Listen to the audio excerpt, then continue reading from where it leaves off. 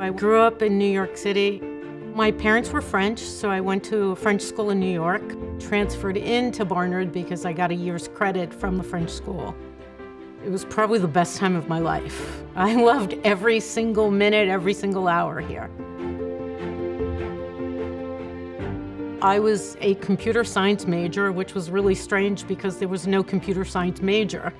So I had to petition for a major, and I had a lot of my classes at Columbia and in the engineering school. And I ended up with two advisors, one at Barnard and one at Columbia. So I get twice as much as everybody else. When I finished college, I moved to New Jersey, started working at Bell Laboratories.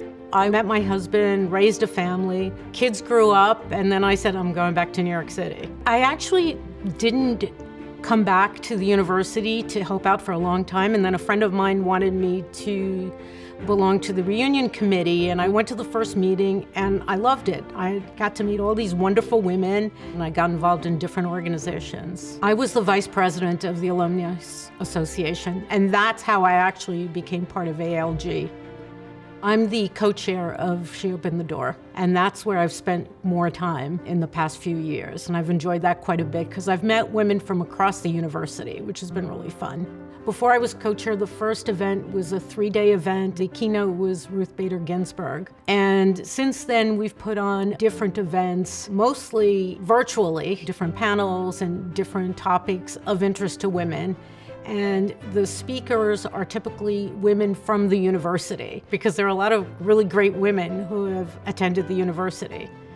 And this year, we just put together an in-person program for entrepreneurs who needed to pivot, who are really stuck in their business. I really enjoy bringing other alums back on campus and helping them network with their fellow alums because they're here and then they leave, forget about the school. When they come back, they realize how many resources there are and how many wonderful connections they have within the university. It's a good reminder.